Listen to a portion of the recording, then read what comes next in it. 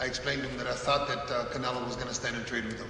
So in the fight, I was trying to make Gennady have it, make, make it a fight instead of uh, uh, allowing Canelo to, to rest. I wanted him to fight more, but uh, uh the fight was close enough that uh, one round, one round difference uh, could have gone either way.